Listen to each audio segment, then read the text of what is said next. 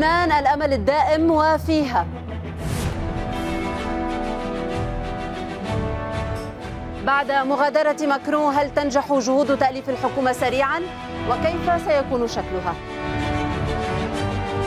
لماذا غابت قضية جورج إبراهيم عبد الله عن المباحثات السياسية مع ماكرون؟ ومن هي المجموعات التي رفعت علما لبنانيا أسود خلال المواجهات في وسط بيروت؟ بالنهاية في حلم وإن شاء الله بنحققه الشيخ محمد رغم مرارة الواقع لا مهرب من الأمل بأيام طعمها أجمل. مساء الخير. هادئا سياسيا وامنيا كان اليوم الأول بعد مغادرة الرئيس الفرنسي إيمانويل ماكرون للبنان. انتهت الاستشارات النيابية غير الملزمة. يبدأ التحدي الفعلي في سرعة تأليف الحكومة وتجانس مكوناتها وبرنامج عملها.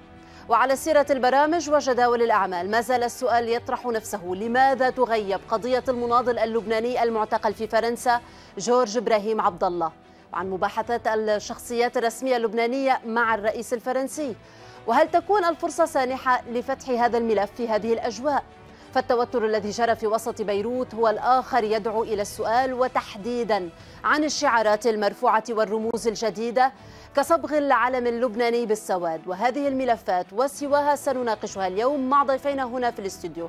بداية مع الكاتب السياسي غسان السعود مساء الخير أستاذ غسان. وأيضا نرحب بالصحافي في جريدة الأخبار الأستاذ حسن علاق. مساء الخير أستاذ حسن. أهلا بكما. إذا نبدأ من كلام الرئيس اللبناني ميشيل عون الذي شدد على أن اندفاعات الرئيس ماكرون تجاه لبنان. يجب أن تقابل بعزم لبناني صريح مشيرا إلى ضرورة تأليف حكومة قادرة وشفافة في أسرع وقت ممكن للبدء في اتخاذ خطوات إصلاحية فورية. عون أكد أن مسؤولية الأطراف السياسية اللبنانية هي الالتزام بدعم هذه الفرصة وإسقاط التنحر السياسي والحسابات الشخصية الضيقة والتوحد خلف برنامج يحظى بدعم دولي.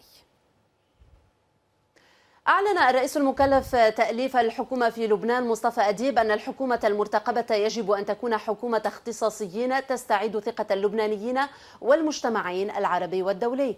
عقب انتهاء الاستشارات النيابية قال أديب أنه سمع آراء وأفكارا تعطي زخما من أجل الإسراع في عملية التأليف كما أنه يتطلع إلى تعاون مثمر مع المجلس النيابي. قواسم المشتركة بين اللبنانيين والتي تجمع بينهم هي أكثر بكثير من أي نقاط اختلاف. وهذا يؤكد رأيي أن أي نقطة اختلاف ممكن أن تحل بالحوار. طالما الإيجابيات أكثر بكثير من السلبيات. والمسائل الأساسية التي استحوذت على مجمل الآراء والنقاشات هي السلم الأهلي وضرورة معالجة المشكلات الداهمة الأزمة الاقتصادية والمعيشية والصحية كارثة المرفأ وتداعياتها الإصلاحات البنيوية اقتصاديا وماليا. أجدد الترحيب بك أستاذ غسان وأستاذ حسن. سأبدأ معك من يعني هذه الأجواء من بعد المبادرة الفرنسية. اليوم عنونت الأخبار أنه البيان البيان الوزاري قد وضعه الرئيس ماكرون. هل نحن نتحدث عن تسوية ستدوم فقط كما قيل من بعض الأطراف اليوم مثل النائب للفرزلي أنه ستوصل بالنهاية فيما بعد سعد الحريري. أم لا نحن حكومة دائمة للإصلاح والإنقاذ؟ هلا دولة الرئيس الفرزلي عم يحكي أمنياته هون بما أنه صار له فترة عم بنظر لعودة الرئيس سعد الحريري. بصراحة هذا الأمر يتوقف على مسألتين. المسألة الأولى هي إلى أي حد الولايات المتحدة الأمريكية ستسمح لفرنسا بالاستمرار بمبادرتها وإنه هذه المبادرة تنجح. آه هيدي من ناحية. من ناحية ثانية قررت القوى السياسية اللبنانية التي ستشارك في الحكومة قررت الائتلاف الحكومي على آه تنفيذ ما يمليه آه إيمانويل ماكرون عليهم وما يزعمون التوافق عليه سواء بقضايا كبيرة أو قضايا صغيرة أو قضايا هي مفروض تكون بديهية. قصة التوقع قديش مدة هذا الاتفاق وإنه هذه الحكومة بتعيش شهر أو شهرين أو ست أشهر أو بتكمل للانتخابات النيابية المقبلة. هذا توقع برأيي في غير محله لأنه في كثير متغيرات بالأقليم في كثير متغيرات بالعالم في كثير متغيرات داخلية قد تطيح بأي حكومة وربما تمنع تأليف حكومة كمان. يعني نحن ما عم نحكي عن شيء مضمون. برجع بقول السبب الأول هو مش واضح بعد الوجهة الأمريكية للتصرف. رغم إنه الفرنسيين يؤكدون أن الولايات المتحدة الأمريكية منحتهم ما يمكن قوله أو تمكن الفر... يزعم الفرنسيون أنهم تمكنوا من انتزاع ضوء أخضر أمريكي للمضي بهذه المبادرة وتأليف حكومة جامعة إلى حد ما في لبنان. لماذا تقول يزعم الفرنسي أستاذ حسن؟ لأنه ما يحمله ديفيد شينكر وما قاله للشرق الأوسط يدلل على لا عدم آه، آه، هذا الرضا على التسوية الفرنسية من قبل الأمريكي. اليوم حكي آه، وزير الخارجية الأمريكي مايك بومبيو رجع أعاد تصويب الأمور. حكي عن إصلاحات يعني ما يطلبه ماكرون وحكي بنفس الوقت عن ضرورة نزع سلاح حزب الله. يعني يعيد ترتيب تنظيم الأولويات. صحيح ماكرون ما قال أنه لن يبحث في موضوع سلاح حزب الله ولكن قال أن هذا الأمر مؤجل لثلاثة أشهر. ولكن خلال هو ثلاثة أشهر نحن بدنا نروح على إجراءات حكومية مرتبطة بإصلاح بمجال الكهرباء بمجال القطاع المصرفي إصلاحات بالدولة. حط هيدي الأولويات اللي سميناها نحن لأنك تتحدث عن هذه الأولويات واليوم هنالك يعني آه، كلام أو آه، نقل لمعطيات بما جرى على هذه الطاولة لجريدة الأخبار وما قاله ماكرون ردا على النائب سامي جميل فيما يتعلق آه، بالسلاح. ماكرون هو لم يدافع يمكن القول عن حزب الله ولكن قال لا. هذه ليست الأولوية بالنسبة لنا. صحيح. فسر لنا ما الذي جرى تحديدا أستاذ حسن؟ وماذا صدقية الذي نقل يمكن من جريدة الأخبار أنا سأدافع عن حزب الله رغم أنه لديه ممثل الآن على الطاولة؟ مش هيك. هو ما قال بهذه الطريقة. هو كان عم مرقها كمزحة أنه أنا مش عم دافع عنه. يعني نقلت بطريقة شوي عم أقول هي نكتة اللي أشبه م. بنكتة اللي قالها ماكرون بس الفكرة مش هون الفكرة الاساسيه هي إنه ماكرون يتصرف بواقعية. هو لا يريد للبنان أن يدخل في مرحلة الانهيار الشامل بسبب مصالحه بالدرجة الأولى. هو ما بده يشوف آه، مئات آلاف اللاجئين عم عم ينتقلوا من شرق البحر المتوسط إلى أوروبا وإلى فرنسا تحديدا. هو يرى لبنان آخر معقل للنفوذ في شرق المتوسط النفوذ الفرنسي في شرق المتوسط. هو يرى لبنان فرصة للاستثمار للشركات الفرنسية سواء في المرفأ أو في الاتصالات أو في المصارف أو في الكهرباء أو في عدة مشاريع أخرى آه، يحتاج إليها لبنان. آه، هو يرى لبنان ساحة تفوق على النفوذ التركي في شرق المتوسط. هو يرى لبنان أيضا نافذة للحوار مع خصومه أو مع القوى أو لتعزيز الحوار مع قوى مثل إيران وحزب الله ولاحقا نافذة للدخول للعودة إلى سوريا بعد التسوية في سوريا. لهذه الأسباب مجتمعة هو لا يريد الانهيار الشامل في لبنان. الأمريكي أقل قلقا منه بمو... طبعا في عنده كمان عوامل أخرى هي وجود اليونيفيل هي أمن إسرائيل كل هذه العوامل المجتمعة تجعل ال ال تجعل فرنسا أكثر حرصا على الاستقرار في لبنان. وتعتبر الاستقرار في لبنان أولوية لها. مش عم نقول ما بيناموا الليل إذا كان لبنان غير مستقر. ولكن هن نظرتهم للاستقرار في لبنان ليست متطابقة مع يعني نظرة الأمريكي. صح. صحيح. داخل الجلسة امبارح بقصر الصنوبر حاول آه، سامي جميل ينقل الخط... ينقل النقاش إلى سلاح حزب الله. حاول سمير جعجع ينقل النقاش إلى موضوع آه، انتخابات مبكرة وتغيير نظام. صحيح. آه. وسامي جميل كمان. وهو مكرون كان مقترح انتخابات مبكرة ولكن لما شاف إنه ما في إجماع على حزب الله سألوا لماذا تصر على الانتخابات المبكرة؟ كم مقعد سيتغير؟ كما نقلت صحيفة الأخبار. صحيح. ويعني غير آه، هيدي النقطة إنه آه، كمان سمير جعجع كان بده ينقل النقاش حول ما سماها هيك بالحرف إنه تغيير رئيس الجمهورية أو إسقاط رئيس الجمهورية ولكن هذا ما كان يقصده كمان ماكرون اعتبر إنه هذا مش أولوية الأولوية هلأ هي للإصلاحات الإقتصادية م. لتغيير اقتصادي في البلد لتنفيذ مشاريع مش تغيير طبيعة النظام الاقتصادي ولكن تغيير النموذج الذي كان معتمدا في لبنان آه يلي ما له علاقة بالاقتصاد الحر. يعني مش هذا الطاولة مش هذا مبحثنا هلأ ولكن آه الفكرة أنه آه، ماكرون اعتبر أن نعم. الأولوية هي لتنفيذ هذه المشاريع التي تحمل الصفة الإنقاذية الآخرون يريدون خوض معارك اللي هي المعركة السعودية بالدرجة الأولى والمعركة الأمريكية سأذهب لأفصل. الآن يمكن الموقف السعودي الأمريكي تحديدا ما الذي آه، يحمله ديفيد شينكر لأنه بطبيعة الحال ليس فقط يحمل آه، ترسيم الحدود البحرية هو دخل على خط التفاوض السياسي وإن كان هنالك نوع من غض الطرف بهذه الفترة بتضييع الوقت حتى الانتخابات الرئاسية المقبلة ال- ال- الأمريكية آه، كما يحلل ولذلك يأخذ الدفع الأكبر أو الاندفاع الأكبر الفرنسي. آه، أستاذ غسان سعود نحن نشير يعني نتحدث عن سلاسة التكليف بالنسبة لطرح الفرنسي. يبدو أنه سلاسة التأليف كذلك منسحبة من خلال الاستشارات النيابية اليوم غير الملزمة بعين التين. واضح هذا الشيء. وكيف نفهم هذه المقاربة الفرنسية التي يمكن بساعات وأيام كل ما كان يدعو إليه آه، مختلف الأطياف أو كل اللبنانيين؟ بشكل المواطن اللبناني أتى الفرنسي ليحمله وأتى معه يمكن البيان الوزاري له. صحيح. آه، بس أنا بدي أقول إنه اليوم في فريق الأمريكاني بشكل رئيسي آه، كان معتبر إنه الجوع آه، هو اللي حي... هو اللي هو اللي حيؤدي لثورة ضد السلاح تبع حزب الله. يعني هن اليوم كان كل تسريباتهم وحكيهم إنه خلاصة الجوع وتجويع اللبنانيين حيؤدي إنه الناس ينزلوا بالشارع يطالبوا بنزع السلاح حزب الله لأنه هو سبب الجوع. يعني هيدا كان اللي عم بيسوقه كثير الأمريكي. أنا برأيي اكتشف مبكرا إنه هذا الشيء لا مش هيك. يعني آه، لم تتجه الأمور بهذا التوجه. أول شيء الجوع مش وارد لأنه بين اثنين في شرق في تركي قريب في في عدة محاور بالمنطقة فيها تفوت على الخط. آه، سو آه، سو هذا المشروع سقط. مشروعهم الثاني اللي حد موضوع الجوع كان كان كان مشروع المجتمع ال- مدني والثوار يعني اللي كنا عم نشوف إنه استثمارهم الثاني بالبلد اللي مبلش من سنتين. طيب حد هيدا الاستثمار الأمريكاني بامتياز كان في أدوات تخريبية سعودية بعدها بالبلد شغالة. طيب المشروع الثاني يعني اللي هو المجتمع المدني هذا المشروع ربح اليوم.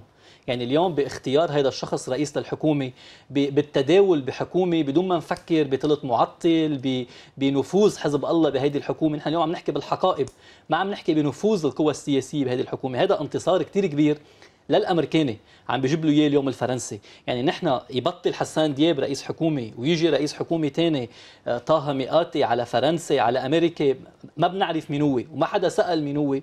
هيدا انتصار اليوم الفرنسي عم بيجيب له إياه كثير كبير. عم بيجيب له شيء لشنكر الإدارة الأمريكية ما كانت قادرة تجيبه ابدا. آه، فنحن أنا بالنسبة إلي الامريكاني اليوم أكيد مبسوط. أكيد مبسوط وأكيد حيفوت يقول شو فيني آخذ أكثر مثل ما مثل ما حزب الله حيقول أنا اليوم انتصاري هون كيف بدي آخذ أكثر يعني يعني هذا شيء طبيعي بالقوى السياسية. آه، وبالتالي واحد ما في حدا يتصرف إنه هو اليوم ربحان. بالعكس اليوم الفرنسي عم يجيب ربح للامريكاني واحد. آه، اثنين آه، بعتقد اللي جاب رئيس الحكومة وهو اليوم الحكومة هي فعليا رئيس الحكومة. يعني ما حدا يضحك علينا أنه في وزارة سوبر وزارة وزير بالزيد أو وزير بالناقص بيأثر. رئاسة الحكومة هي كل شيء. لما رئاسة الحكومة تقطع بهيدي السلاسة أكيد الحكومة قاطعة. هلأ بدهم يلاقوا إخراج مشاورات قوى سياسية بيطلع بينزل. اللي جاب رئيس الحكومة أكيد جايب معه كل هيدي الحكومة. تمام. آه، بالحد الأدنى يعني يعني اللي اليوم طلع من اجتماع الخليلين مع جبران باسيل في. توجه ل يعني يعني للتسهيل بشكل كامل. آه، في موقف شبه رسمي من عند التيار الوطني الحر إنه هو غير متمسك بأي حقيبه واحد. آه، اثنين إنه هو سيمنح الثقة كمان سواء كان ممثل وزاريا أو غير ممثل وزاريا. أنا برأيي بهذا الموضوع سعد الحريري حط سقف ما في ولا حدا بقى حط سقف واطي لتمثيل القوى السياسية. ما في ولا فريق لبناني قادر يطلع فوقه.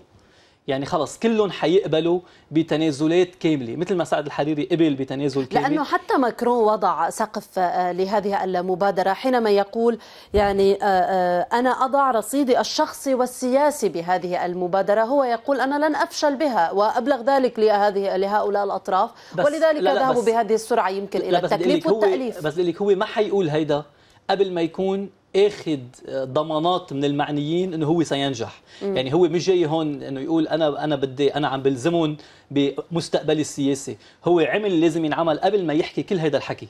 يعني آه، مفروض هيك يكون. يعني إذا إذا إذا منه عامل وهلأ بده يقعد بده يرضي وليد جنبلاط بمحل وجبران بيسيد بمحل صار هو رهيني عندهم مش هني رهيني عندهم. آه لا تقحموني بمواضيعكم الخلافية. لا وهو صار يعني للتأكيد على اللي عم بيقوله غسان إنه صار إنه هو أخذ ضمانات من القوى السياسيه يعني مثلا طرح موضوع التيار الوطني الحر. التيار الوطني الحر وافق إنه ما تكون وزارة الطاقة معه رغم إنه من 2008 لليوم التيار متمسك بوزارة الطاقة. فتأكيد على اللي عم بيقوله غسان إنه هن الفرنساوية عملوا الوظيفة تبعهم آه، الوظيفة المنزلية تبعهم إنهم حكيوا مع القوى السياسية وأخذوا منها تعهدات. واتفقوا مع إنه أوكي تكون حكومة سياسية فيها وزراء سياسيين حتى لو كان وزنهم ثقيل بالسياسة ولكن ما يكونوا مستفزين. أوكي هون بس بدي أعقب بشيء أخير. بدي أقول لك اليوم مش بس مجنون معتوه اللي بيحكي المواطنين بسلاح حزب الله.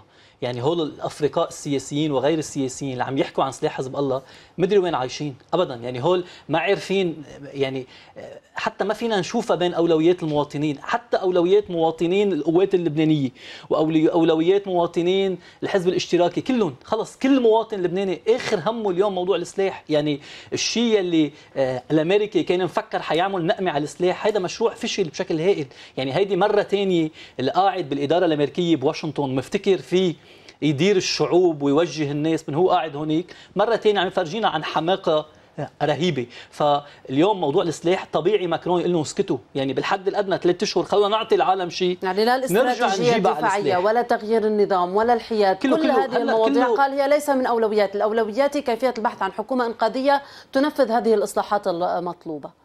وأنا برأيي عم يربح من فوق لتحت بدل ما يربح من تحت لفوق. يعني هو اليوم يعني, كيف؟ يعني هو اليوم بدل ما يروح لانتخابات نيابية هيدي الانتخابات آه، تفرز تحول نيابي يسمح لهم ل 14 اذار يزيدوا وزيرين. عم بيروح يجيب لهم 30 وزير أو 20 وزير. يعني عم بيروح يعمل لهم بالسياسي أكبر ربح فيهم يعملوه بس من فوق بدل ما يعملوه من تحت.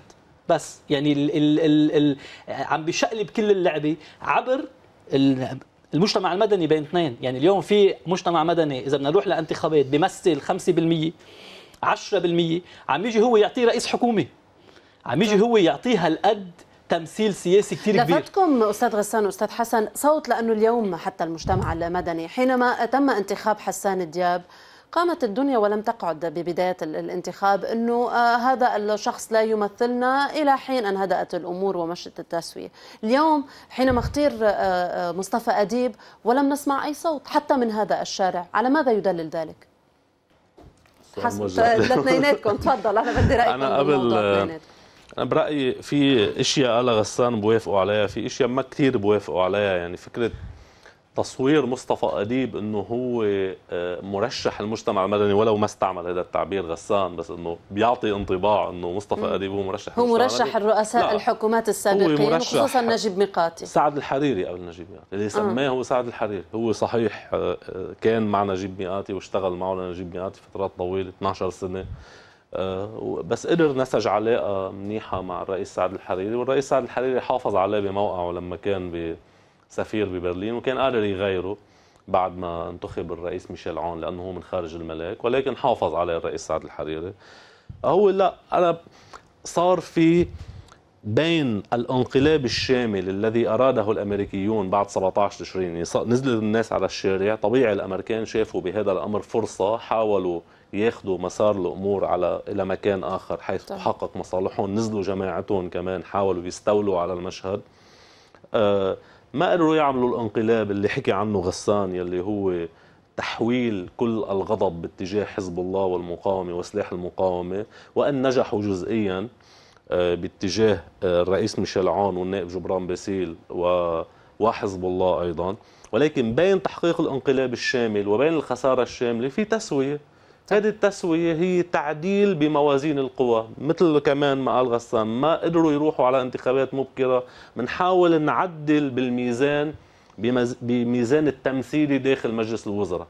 هلأ كمان لأنه غسان قوس رشق يعني حكي مثلا عن موضوع الثلث المعطل بعتقد هذه في تفاهم ما عليها إنه بلا فريق ما يسمى فريق 8 آه، آذار والتيار الوطني الحر بده يكون عنده على قليلة ثلث معطل. تلت. رئيس الحكومة بده يكون عنده نص زائد واحد. آه، آه، هيدي الأمور مش عم أقول في تفاهم ورقة مكتوبة عليها يعني. ولكن في تفاهم ضمني حولها. آه فهيدي نحن اولا. ذاهبون ثانيا إلى ال- ال- حكومه اختصاصيين مطعمة بالسياسيين أم مشابهة لحكومة حسان دياب حكومة حسان دياب بلاس يعني ما بالآخر آه، مصطفى أديب منه حسان دياب ما بيشبه حسان دياب. كمان الوزراء هون ما راح يكونوا يش... نسخة عن آه، لأنه عن كانت أكثر تحتسب من لون واحد. اليوم في غطاء سياسي من قبل أطراف صحيح. اخرين مثل تيار المستقبل والاشتراك والاشتراكي صحيح. هلأ قلت ليش ال- ال- المجتمع المجتمع المدني؟ هون أنا بدي فرق كثير بين الناس اللي نزلت على الشارع وبين الجمعيات يلي هي مرتبطة بأمريكا وبأوروبا وبالأمم المتحدة NGOs. ويلي بتاخذ تمويلها من هذيك الجهات. هيدي المجموعات تتحرك بالآخر بأوامر سياسية. يعني أنا بضل آه، آه، أضرب هذا المثل. بعد ما صار في هجمة بطرابلس من فترة واستشهد أحد الشباب برصاص الجيش اللبناني يوم كان في هجوم على المصارف من قبل المجموعات اللي عم تنزل على الشارع وعم تنزل تحرق المصارف. آه، والجيش محمد السمان. صحيح. الجيش السمان صحيح. الجيش اللبناني استعمل آه، القوة وقوس واستشهد شاب يوم كان في فرصة بين مزدوجين لهيدي المجموعات والجمعيات إنها تستثمر هذا الغضب الموجود بالشارع وتكمل تحركها. وإذ بيطلع الأمريكان وال- والأمم المتحدة بيقولوا آه، آه، ضبضبوا بيضبضبوا. صحيح. هون ضروري كل ما أقول هذه الجملة لازم أوضح إنه أنا ما عم بحكي عن عموم الناس اللي نزلت على الشارع أنا عم بحكي عن الجهات المرتبطة بأمريكا وبأوروبا والأمم المتحدة ومعروفين مين هن يعني. فهلأ أنا بس شوف إنه الشبيبة هن ذاتهم هو ولو علوا صوتهم على ال social media ولكن ما عم يتحركوا جديا. بدي فتش عن الضوء الأخضر أو القرار الأمريكي الأوروبي والأمم المتحدة، الأمم المتحدة كذراع للاداره الأمريكية يعني. فهودي شو موقفهم حقيقة من اللي عم بيصير؟ هذا بفرجيني إنه هن بدهم يعطوا فرصة للمبادرة الأمريكية، لأنه كمان فرنسية. المبادرة الفرنسية آه. لأنه الأوروبيين كمان ما بالآخر عندهم هامش بالتعامل مع الأمريكان هن صحيح تحولوا بالسياسة الدولية بعد آه، الحرب العالمية الثانية لجهة تابعة لقطب اسمه أمريكا ولكن هن مش جهات مش أشباه مستعمرات يعني هن تسمحي لي هون صحيح سريع أضعف بس إنه عندهم هامش واسع وضمن هذا الهامش هن بدهم الحفاظ على الاستقرار في لبنان ومثل ما قال لعب غسان إذا حتى الأمريكاني مثلاً. عاجز آه. إذا الأمريكاني عاجز إنه يروح على انقلاب شامل بالبلد بيعطي فرصة للآخرين إنه أوكي شوفوا إذا فيكم تحصلوا مكاسب لنا من خلال تسويه الفرنسي حتى يترجم دوره الدولي لعب الوساطة ما بين الغرب وإيران والدليل ما يجري بالاتفاق النووي الإيراني وكأنه اليوم يعيد بإسقاطات مماثلة بكيفية التعاطي مع الملف اللبناني فيمسك زمام المبادرة بشكل هو عجز وسطي بإيران إنه يلعب دور الوسيط صحيح. خاصة بعد الانسحاب يعني وخصوصا معه. في عنده فشل بملفات بالمنطقة مثل ليبيا سوريا العراق يريد موطئ قدم آه، وجد يمكن آه، لبنان المكان الأنسب. ولا ننسى انه اليوم في زيارة لماكرون في بغداد هذا يربط بنهج فرنسي يبحث عن دور استراتيجي أو دور مكان آه، ومصالح له. اقتصادية ضروري بشكل. العنوان الأساسي لها. بس أنا بدي أعقب على شيء شيء اللي انحكى قبل شوي. بدي أقول لك أنا 17 تشرين بالنسبة إلي إذا بدي أشوف هيك المشهد شوف مجموعات كنت شوفها دائما الجديد ب 17 تشرين واللي عمل من 17 تشرين حالي أكبر بالنسبة إلي كان وجود الجامعة اليسوعية. يعني انغماس انغماس الجامعة اليسوعية بشكل كامل بإدارتها بموظفينها بطلابها بهيدي ب 17 تشرين كان بالنسبة لي على الحد الأدنى مؤشر على إنه في شيء كبير عم يتحضر لأنه هيدي الجامعة ما بتروح لحالها. يعني اليوم الجامعة بارتباطاتها الأوروبية بامتياز المخصصة بالسياسة الثقافية ما بتقرر تعمل ثورة على رئيس جمهورية بين اثنين بدون ما يكون في في آه، في يعني محرك قوي كثير للجامعة. أوكي؟ so اليوم أساس أساس 17 تشرين غير كل المجموعات كان وجود الجامعة اليسوعية كان وجود آه، مدرسة الجمهور بكل ما خرجته من محامين وأطباء وبين اثنين طبقة وسطى بهذا البلد. سو اليوم إنه هيدي الجامعة تفرمل إنه اليوم الثورة محرك دينامو رئيسي كثير بكل المجموعات. إذا بتروحي على كل المجموعات بتشوفي إنه الجمهور واليسوعية هن حاضرين بقوة. سو اليوم هول يفرملوا ويعطوا بمعزل بس عن مش السياسة. تكبير شوي لحجم آه، آه، آه، ما لا. ذكرته لا، لأنه غسان لأنه إذا عدنا إلى بدايات بيعمل ثورة- 17 إيه، اللي بي- تشرين. اللي بيعمل كان 17 في فئات معينة هي مثلا ضد ال- المصارف ضد سياسة المصارف. اللي بتعمل بس بالمقابل اللي بتعمل في اللي عملت أطراف أخرى اللي لا عملت كانت اللي عملت من يعني 17 حالة تتهجم بشكل مباشر على هذا النظام اللي عملت من 17 حاله بالنسبة إلي مش ال- مش المجموعات اللي نحن اعتدنا نشوفها بالشارع، يعني أنا الشيوعي وبين اثنين اليسار الديمقراطي اللي هو نقيضه اللي مع المصارف وضد المصارف هول كل وقت شايفينهم بالشارع، هدول كل وقت موجودين بتفاوت، اللي اللي اللي اللي عمل شيء جديد هو فوتة مجموعة من الطبقة الوسطى بقوة على هيدي الثورة، اسمها كلنا الإرادة بمحل آه، اسمهم الجمهور بمحل اسمه اليسوعي. بس هدول كلهم كانوا عامل رئيسي وهول كلهم ارتباطاتهم الثقافية مش الأمنية بدي أحكي ولا المالية. الثقافية مع فرنسا قوية كتير. السفارة الفرنسية ثقافيا بدي أرجع أقول بتمون عليهم كتير.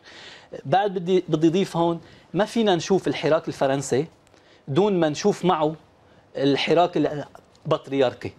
يعني إذا كان ماكرون ما عم يحكي بسلاح حزب الله البطريركية ما بتحكي بسلاح حزب الله بدون حد أدنى من الموافقة الفرنسية. يعني ما ممكن البطريرك يشتغل دون غطاء فاتيكاني والفاتيكان اليوم على تنسيق كامل مع فرنسا مش مع أمريكا. سو كمان نحن ما فينا ما نشوفهم سوا. هلأ ما عم يتبنى حكيه ماكرون إيه ولكن مخليه مبسوط فيه أكيد. الكلام عن موقف البطريرك هنا أسألك أستاذ حسن هو مرتبط فقط بالموقف أو هذا الرضا ال- ال- الأوروبي أم بأمريكي حتى سعودي آه، في السربي خصوصا طرح مشروع أنا هون ما بوافق الحيادية بهي النقطة تحديدا إيه. لغسان إنه لا ال- البطريركيه هون هلأ بهي اللحظة آه، إذا بدنا نقول. بدنا نسقل ال... إذا أردنا تثقيل آه، آه، النفوذ عند البطريركيه عند البطريركية. آه هلا الأمريكي والسعودي أولى من. من الفرنسي آه وحتى ربطا بالفاتيكان يعني شفنا إذا بنشوف بأمريكا اللاتينية دور الفاتيكان سواء بكوبا سواء بفنزويلا سواء بالحوار بنيكاراغوا سواء بكولومبيا آه، في شغل جدي عم بيصير بين الفاتيكان والولايات المتحدة الأمريكية على تسوية عدد من من المشاكل ملفات. والخلافات والملفات بهذيك المنطقة وبمحلات تانية كمان في تنسيق عالي المستوى بين الفاتيكان و حتى آه، بتاريخية البطريركية. المارونية في لبنان إذا من كان يعني اليستحويك أو من حتى البطريرك صفير أو باليوم لا، كان الراعي في تأثير التأثير أكثر تاريخيا. لفرنسا. ولكن هلأ بهاللحظة نتيجة وين راح البطرك الراعي ومين هي الشخصيات السياسية اللي عم يسمع لها بالفترة الأخيرة اللي هي أكثر تأثرا بالولايات المتحدة الأمريكية بالسعودية وطبعا في هيك دور خاص وجميل لدولة الإمارات العربية المتحدة جميل آه، قصدي في شيء ثاني يعني. شو يعني جميل فيها فيها صريح، دعوة يلا. آه. فيها دعوة و... مش فاضي هلا الحق دعوة لا آه، يعني بشكل غسان فهم بشكل لا بشكل ما يكلفك دعوة ونفهمها نحن والمشاهدين المشاهدين فهموا على شو عم بقصد. ف فالفكرة انه يروج للتطبيع؟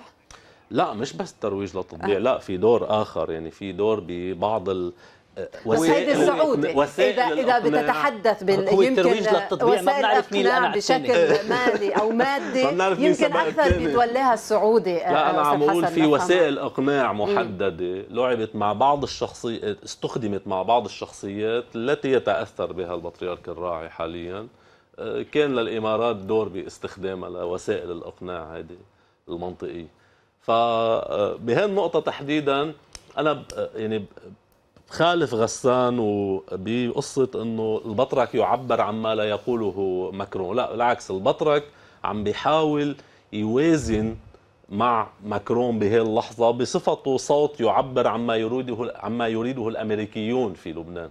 وما تريده السعودية في لبنان وما تريده الإمارات العربية المتحدة في لبنان لأنك تتحدث عن ال- ال- الأمريكي واشنطن تعمل مجرد ذهاب الرئيس ماكرون على إرسال ديفيد بس. لنقول إيه. هون ملاحظة أكيد ما قصدنا أنه ماكرون هو عضو بمحور المقاومة لا مش هو.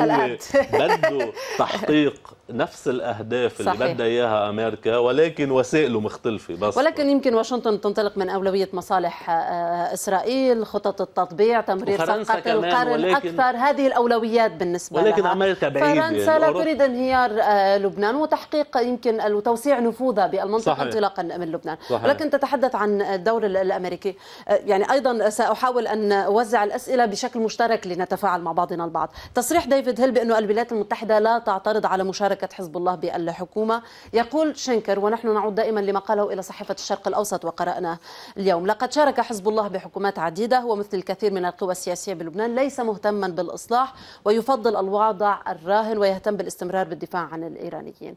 نفهم إنه المبادئ هي التي تهمنا بتشكيل الحكومات هكذا يقول بس هون في شنكر. توضيح ضروري. ديفيد إيه. هيل المرة الماضية ما قال بالحرف إنه هن لا يمانعون مشاركة حزب الله في الحكومة. قال سبق أن تعاوننا مع حكومات فيها كان حزب حزب الله موجود فيها. وقال سننظر في الأمر مستقبلا في حال كان. يعني ما هو ما جزم انه نحن كان عم إذا بدك بعده فاتح الباب ما بده يعطي موقف يعني الأمريكي لن يعرقل المبادرة الفرنسية التي رعاها ماكرون. نفهم هكذا بالخلاصة؟ لحد هلا ما ظهرت مؤشرات إنه الأمريكي بلش عرقلة المبادرة الفرنسية حتى نكون دقيقين. يعني يمكن بعدين تظهر ويمكن تكون القصة أقرب للي قالوا غسان إنه هن شايفين إنه طالما ما قدرنا نحقق انقلاب شامل ونروح على انتخابات نيابية مبكرة ونعمل ضغط على حزب الله وكذا وتحويل الضغط الشعبي على حزب الله خلينا نشوف شو, شو فينا نحقق مكاسب من خلال ما لأنه سياسه خليني أقول لك الضغط شيء، بس القصوى هن- يمكن لم آه، بس يعني. يعني يعني بس هن مشروعهم فاشل 100% يعني هو اليوم إذا بده إذا بده يعرقل هي التسوية شو شو عنده بديل؟ هو اليوم عبر إذا بدي إذا بدي أحكي السعودي مثلا عنده أدوات تخريبية ولكن فقط تخريب.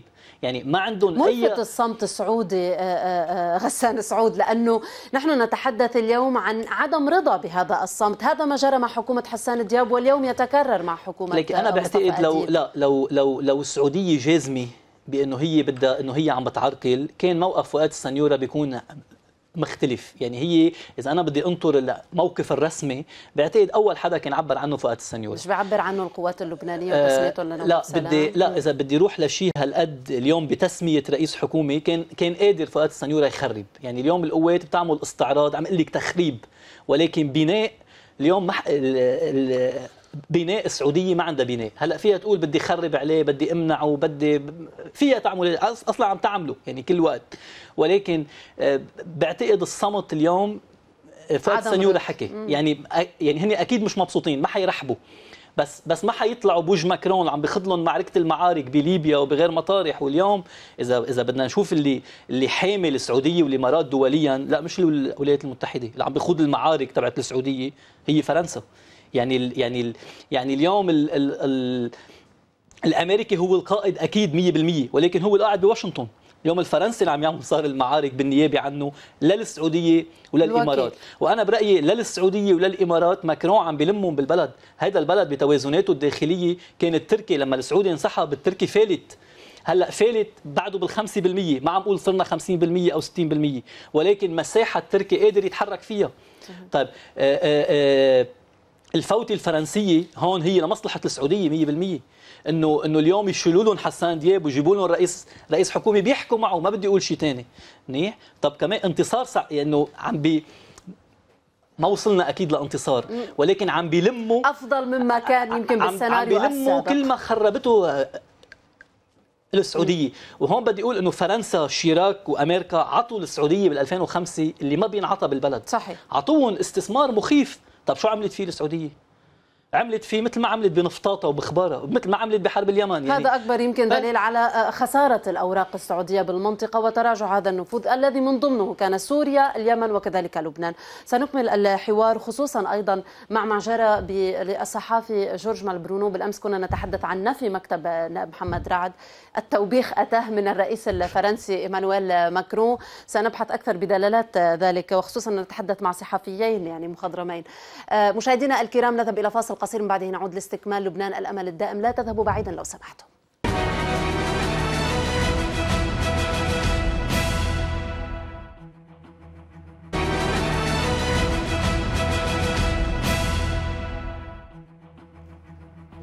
من جديد أهلا بكم مشاهدينا الكرام في لبنان الامل الدائم ونجدد الترحيب بضيفينا الأستاذ غسان سعود وكذلك حسن علاق ولكن سنعرض الآن ما عرضته وسائل الإعلام الفرنسية للفيديو الذي يظهر توجه الرئيس الفرنسي إيمانويل ماكرون للصحفي جورج مالبرونو بالنقد الحاد بعد نشر مالبرونو مقالا تحدث فيه عن فرض عقوبات على مسؤولين لبنانيين في حال لم ينفذوا المطالب الفرنسية الأخيرة في لبنان.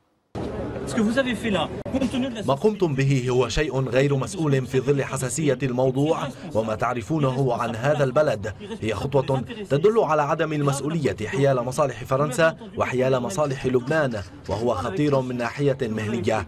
تعرفون أنني أدافع دائما عن الصحافة والصحفيين.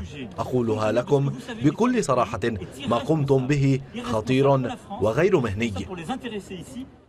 ويجب أن نوضح آه، كذلك بأنه مالبرونو توجه بكلام آه، ما جرى ما بين النائب محمد رعد وماكرون وكيفية الخطاب الذي تم ويتحدث عن أولويات وأجندات إيرانية بالنسبة لحزب الله نفاه مكتب محمد رعد. والآن نسمع هذا النقد الحاد من قبل آه، إيمانويل ماكرون.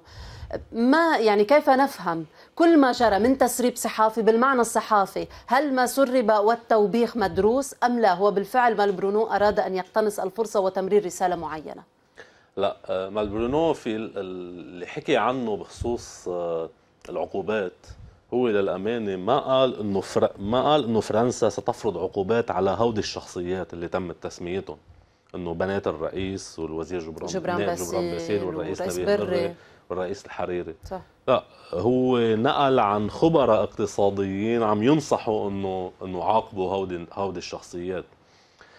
بموضوع آه، آه، النائب محمد رعد اللقاء اللي صار بين ماكرون ومحمد رعد آه، واضح إنه مالبرونو بالغ كثير بتحميل كلام ماكرون ما لا يحتمل حتى وصلوا يعني نقل كلام ما لم يقل في هذا الاجتماع ماكرون هون مالبرونو هون بيعبر عن مجموعة داخل الإدارة الفرنسية. آه، هو معروف صلاته كثير قوية بالأجهزة الأمنية الفرنسية والمجموعة من المحافظين بداخل الإدارة الأمريكية إضافة لعلاقته المميزة كمان هون ثاقبت هلأ مش حاطين إحطاطها يعني كمان علاقته مميزة بالإمارات الإمارات. وهو معروف بمواجهته للدور القطري بفرنسا آه، بخصومته مع آه، يعني يقدم نفسه كخصم لقطر يعني أو بشغله هيك بيقدمه.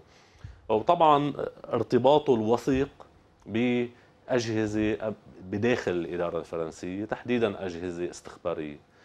آه، فقد يكون مالبرونو عم بيعبر عن هذه الأجواء لما كتب ما كتبه. التوبيخ لا ما بعتقد مفتعل.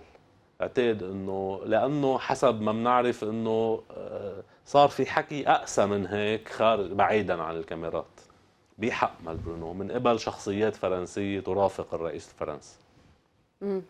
اسمحي لي هون بشغلتين أنا بس آه، بالفيديو أنا قبل هي. الفيديو هي. كذلك إنه نحن معلوماتنا تؤكد إنه ماكرون آه، شدد على مدى الإيجابية آه، وهذا أيضا ورد بالبيان التوضيحي للنائب محمد رعد بمكتبه عن نحتفظ بالكلام أو الشق الإيجابي تحديدا والمجالس بالأمانات كما ذكر البيان تفضل أنا أول شيء لفتني الرئيس الفرنسي لما يقول إنه أنت عملت شيء غير مسؤول حيال مصالح فرنسا تخيلي اليوم لو كل صحافي لبناني بده يجي رئيس جمهورية أو كائن من كان يقول له أنت شو عم تعمل؟ حيال مصالح لبنان. هو قال حيال مصالح فرنسا ومصالح لبنان. بس في رئيس منطلق من إنه أنت يا صحافي عملك بغض النظر إذا صح أو لا بأول مرحلة مضر بمصالح فرنسا. طيب اليوم هيدا هيدا اللبناني اللي دائما بيعتبر إنه جاي من فرنسا بياخذ العقل وهن الفهم وهن وهن وهن شو حس من بعد كل يلي عملته طبقة إعلامية كاملة بمصالح لبنان. بس شافت كيف رئيس فرنسا بيتعامل مع صحافة بموضوع مصالح فرنسا. واحد. اثنين خطير وغير مهني نحن عم نسمع بلبنان آه، رئيس جمهورية عم بيقول لصحافة اللي عملته خطير وغير مهني ونحن عم نشوف أكبر موجة من من الخطورة ومن غير المهنية. هذا الشيء هذا الشيء مش موجود بالبلد. وبدي أرجع أقول المنيح بهذا الموضوع إنه رئيس دولي بين اثنين المجتمع المدني والمثقفين اللبنانية بينظروا لها ك يعني هيك نموذج يحتذى. طيب هول هن ذاتهم إذا عامل هذا الشيء رئيس الجمهوريه اللبنانية لو مش عامل لو مش معيط عليه لو باعت عامل دعوة قضائية ضد صحافي لأنه عمل شيء يمس مصالح لبنان تخيلي اليوم نشرات الأخبار كيف كانت حتبلش.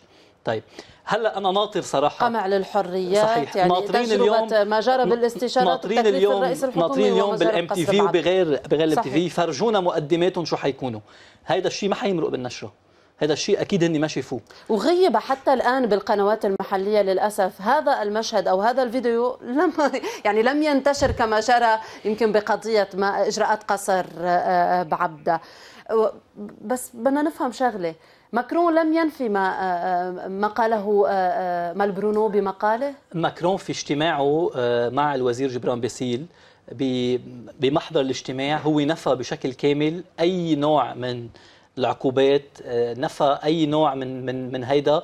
وكان كثير حريص إنه يوصل هيدي الرسالة كمان للرئيس نبيه بري إنه هو أكيد أصلا أصلا ما في حدا بالسياسي يفوت بعملية ابتزاز من هذا النوع. يعني ما في حدا بده مبادرته تنجح بيروح ببلش بهذه الطريقة خصوصا يمكن ينفع هذا الشيء مع سعد الحريري يمكن.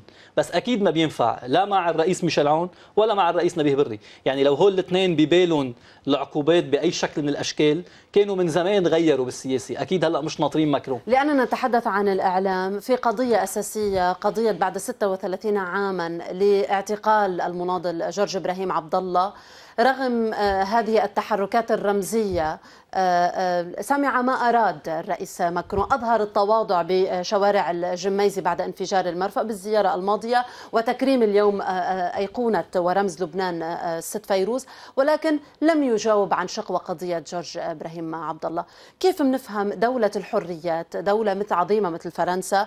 يعني تقارب المواضيع التي تهمها. وهنا ما هي مسؤولية الدولة أستاذ حسن علاق بمتابعة ملف وقضية إلى سنوات وبشكل مظلوم يتم اعتقاله آه، جورج عبد الله. أنا هون عندي تحفظ على تعبير دولة الحريات بفرنسا. آه، هكذا يمكن نحن نسمع تاريخيا ودرسنا ذلك. دولة حريات دولة مقارنه مقارنة ببلادنا. يعني بس إنه لا هن كمان في عندهم مثل ما شفنا مال برونو ساكت هيك ولا ولا فتح تمه بوجه رئيس دولته لأنه ما بيسترجي يفتح تمه بوجهه آه هذا بيلخص الواقع إذا بدك بين العلاقة.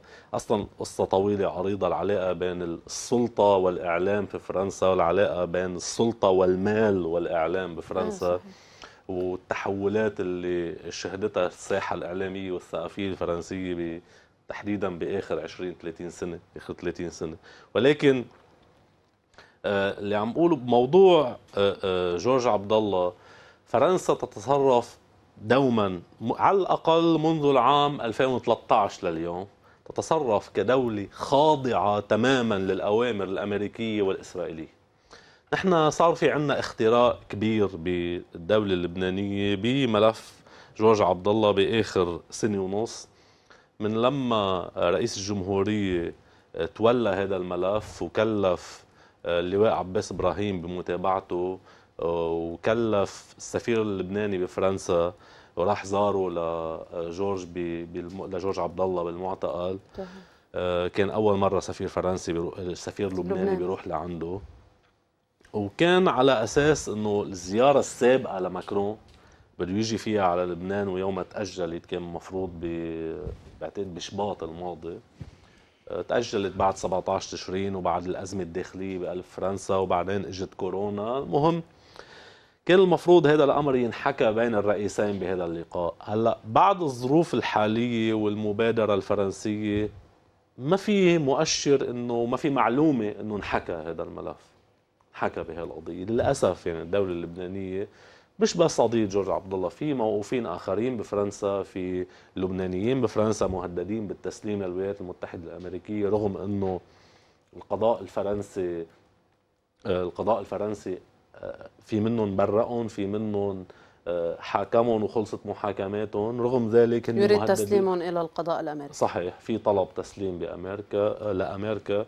والقضاء الفرنسي رغم رغم الحكي اللبناني مع الفرنسيين يبدو ميالا إلى تسليمهم للولايات المتحدة الأمريكية وهذا أمر بده استنفار وهذا مخالف لأي. نص قانوني حتى يمكن لا هن في اتفاقية بيناتهم يعني هن لا أتحدث بقضية بقضية جورج عبد الله. ما في هلأ أي مبرر لتركه موقوف تحديدا بعد ال 2013 13. خلص هذا الزلمه كان المفروض يظهر وكان في تحضيرات بده يجي على البلد. فبس إنه هلأ صار له سبع سنين إضافة على ال 31 سنة اللي قضاهم قبل.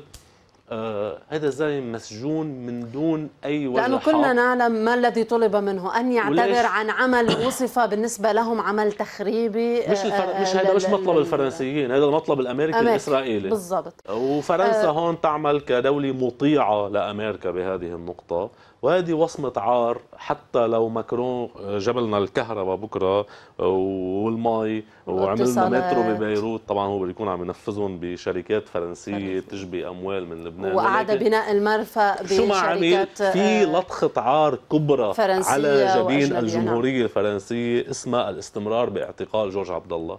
الدولة اللبنانية المطلوب منا حتى لو كنا في عز الفاقة حتى لو كنا في ذروة أو في قاع القاع. بهي اللحظة المطلوب بكل لحظة المطلوب من الدولة اللبنانية أن تكون قضية جورج عبد الله أولوية. للأسف لأن القوى الأمنية هي التي أقامت الحواجز منعا لوصول المتظاهرين لإيصال هذا الصوت للرئيس الفرنسي إيمانويل ماكرون. كيف يمكن تعقيب لك أنا على بدي أقول هذه شيء على السريع أنا بس؟ بقول أنا بعتقد جريدة الأخبار عملت لجورج عبد الله قد ما لازم ينعمل.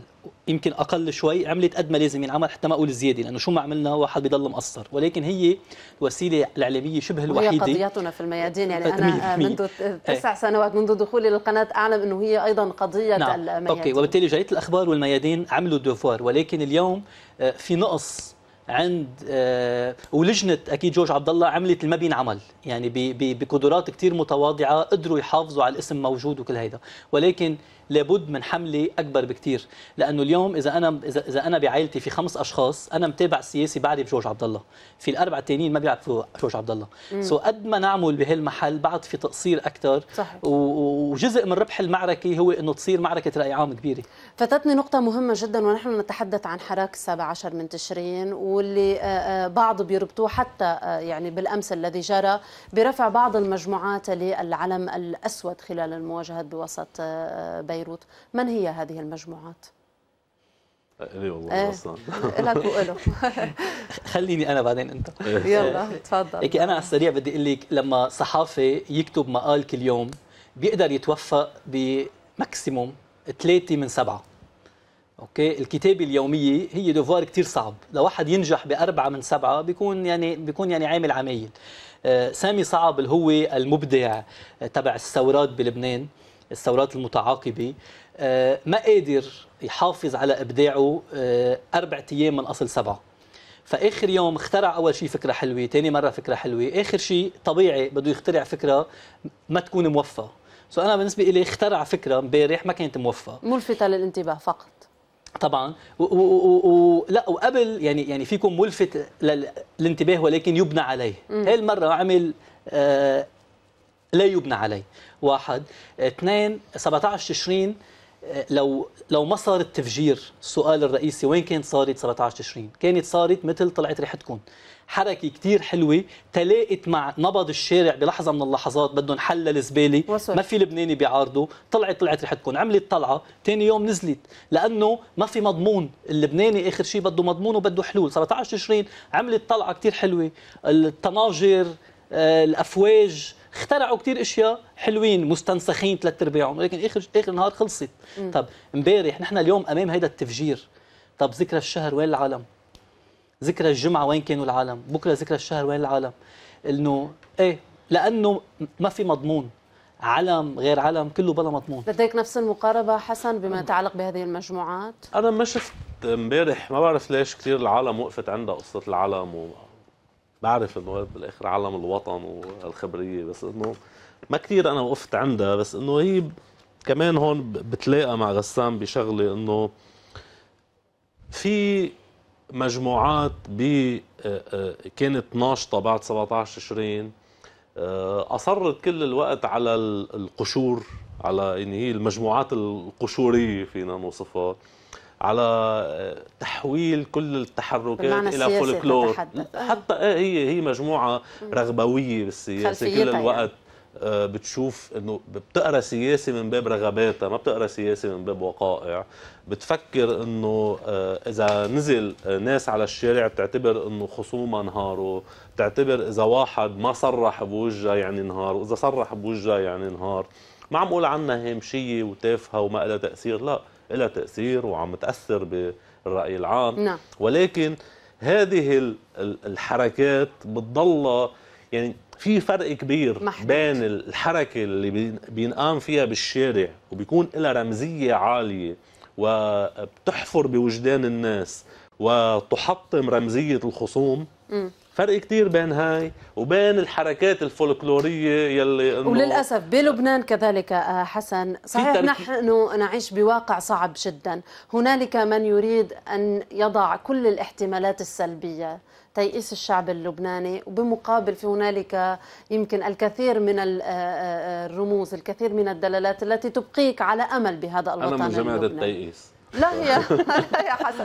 نحن شعارنا لبنان الأمل الدائم وسنختم مع الشيف أحمد وهو طباخ ما زال صامدا بعمله رغم أن قطاع السياحة والخدمات يعد من الأكثر تضررا بلبنان بسبب جائحة كورونا وتداعيات انفجار مرفأ بيروت. رغم ذلك ما زال الشيف أحمد يأمل بأن تتحسن الأمور بعكس الصحافي حسن علاق فلنتابع.